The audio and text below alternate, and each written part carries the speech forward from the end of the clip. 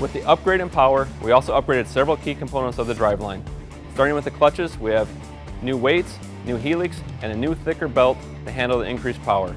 And to keep that clutch and belt cool, we have a new inner and outer clutch cover features to improve the airflow, as well as new intakes that are larger with screens both on the outside and the inside, as well as a foam seal to keep that sand out.